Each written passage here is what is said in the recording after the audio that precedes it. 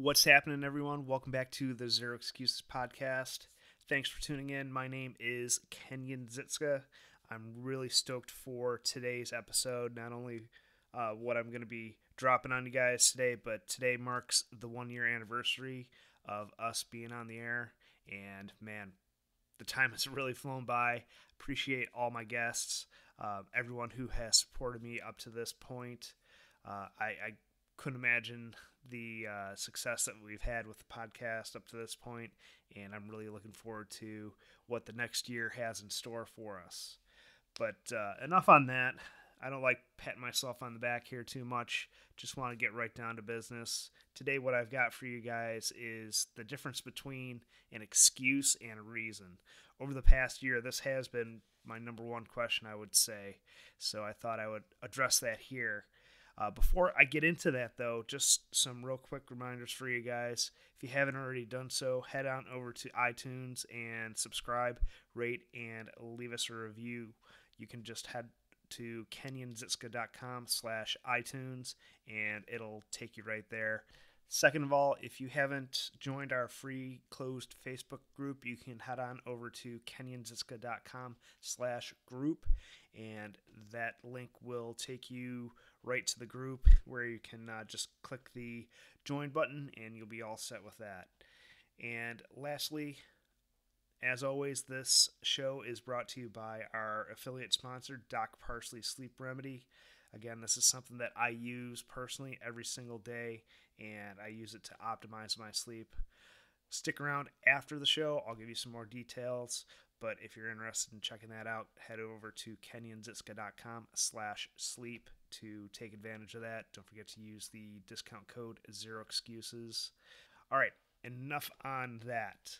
Uh, like I said at the beginning of the show, one one of the biggest questions I've gotten over the past year is what's the reason between an excuse and a reason? And let's let's quickly look at the dictionary definition of an excuse. It's an attempt, an attempt to lessen the blame attaching to a fault. Also, to seek to defend or justify. And the dictionary definition for a reason is a cause, explanation, or justification for an event. Well, those are pretty good definitions, but here's my take. The biggest differentiator is the responsibility, the ownership of of the situation. A reason everyone involved takes responsibility for the situation. Whereas an excuse, everyone tries to shift the blame, point fingers, and essentially says it's not my fault. I had nothing to do with it. Um, if you ask me, both of these are actually actually habits. One will lead you to growth and success, and the other will cause you to stagnate and alienate you from from everyone else around you. And I don't think I need to tell you guys which one is which, but reasons empower you to do something better. And excuses basically relinquish control to someone else or to the event and basically render ourselves powerless to do anything about a certain situation. So I really think that we have to keep that those things in mind when we're going about our day-to-day life. And that's not to say that you need to be a pushover or to take the blame for everything but I think we need to walk a fine line when uh, when we say, "Hey, it's not my fault." There's always something that we could have done to alter the situation or make a certain situation better. I know I'm kind of talking in uh, general terms here, but one book that I highly recommend that you guys read is Extreme Ownership by Jocko Willink. Uh, I'll drop a link in the show notes. Actually, better yet, head on over to kenyonzitzka.com forward slash shop, and I've got that book linked right in my uh, Amazon shop. You can buy it right there.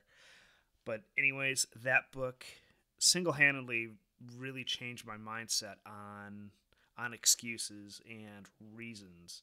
And I think that uh, you know I talk about excuses a lot with you know the show being called Zero Excuses, but I think that if we can turn our excuses into reasons, I think we'll be a lot better off.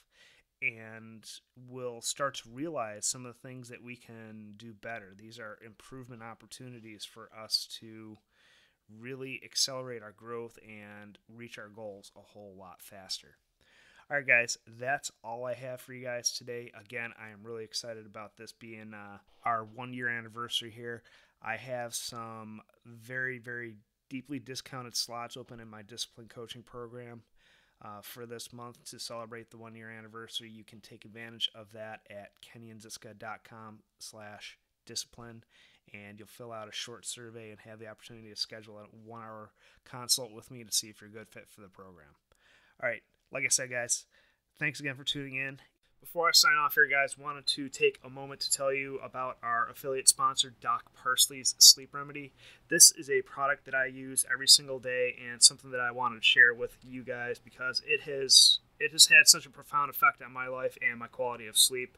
I had to share it with you guys. Sleep Remedy was developed by Dr. Kirk Parsley. He is a former Navy SEAL and former undersea medical officer at Naval Special Warfare Group 1. But to make a long story short here, he developed Sleep Remedy to help his teammates overcome some of the stress and nutritional induced deficiencies that he was finding with them so they can get a good night's rest and help them reach their maximum potential and perform at their peak. So he's now offering this remedy to the public, and you can head on over to docparsley.com and try it out for yourself. He's offered a 10% discount to the Zero Excuses community. You can enter the discount code Zero Excuses, Z E R O X C U S E S, at checkout to take advantage of that 10% discount. I highly encourage you guys to give it a try. This stuff is the real deal. It's not like any of those over the counter sleep aids that leave you hungover or feeling groggy for the first half of the day. This stuff will get you into a deep, deep night's rest and you wake up refreshed and ready to crush your day.